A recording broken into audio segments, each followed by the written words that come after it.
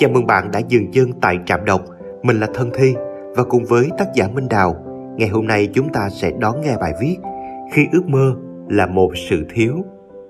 Trong sự phóng túng của ngôn từ, bạn tìm thấy trong đó sự thiếu. Nếu ai càng hay viết hashtag be you, love yourself, live a simple life, thì có thể họ càng đang phải sống vì người khác, không hài lòng với bản thân và đời đang rối như tơ. Người mà suốt ngày phải hỏi, Siri ngự ở trên bàn, Nước này ai đẹp được dường như ta? Có thể lại là người tự ti với sắc đẹp của mình nhất. Giống như lũ trẻ sẽ không đòi mẹ món đồ chơi đã có. Thứ chúng mong muốn nhất là thứ chúng thiếu nhất. Trong niềm mong ước tiết lộ sự bất mãn với chính mình.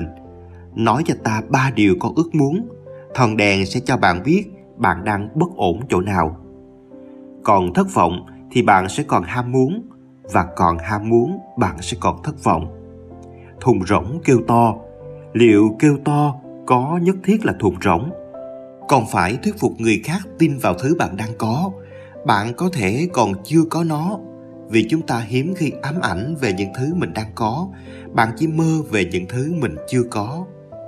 Tại sao một số người hay nói triết lý lại sống như, tất nhiên là có người diss người đát. Cũng giống như bạn đi chùa cầu an, cầu tình hay cầu bất cứ thứ gì bạn nghĩ mình chưa có được. Họ chỉ đang nói thứ mà họ đang thiếu. Một cảm giác được sống đúng, được làm người tốt trở lại. Trong sự vươn lên cái cao cả, họ tìm cận được cái mình muốn bằng cách mong muốn nó nhiều hơn. Nhà nào treo chữ gì thì có hai khả năng.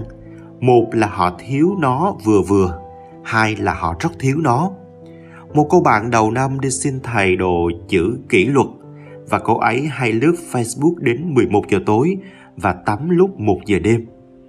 Tất nhiên mặt phải là có thể họ đang muốn mình khác đi, theo chiều hướng tốt lên. Đấy là một điều đáng ngưỡng mộ, vì ít nhất họ còn sống vì lý tưởng.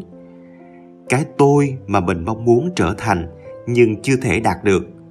Khổ hơn là những người không biết nào là idea. Nếu bạn không biết thế nào là tốt nhất, thì thế nào mà trả được.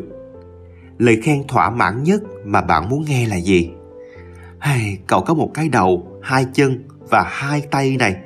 Cậu thật tuyệt vời.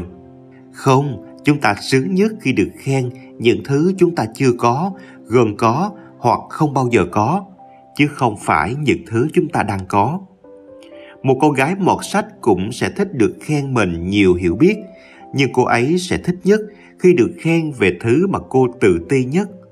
Ô, chiếc váy hai dây này hợp đấy. Kỹ năng tình ái của em cũng giỏi thật. Anna frill từng nói, trong mơ, chúng ta có thể có món trứng chiên đúng kiểu mà mình muốn. Lòng đào 96,9% chẳng hạn. Nhưng vấn đề chỉ là bạn không thể ăn chúng. Hãy chỉ cho tôi cách bạn mong muốn được khen. Vì không ai lãnh cảm khi được khen cả.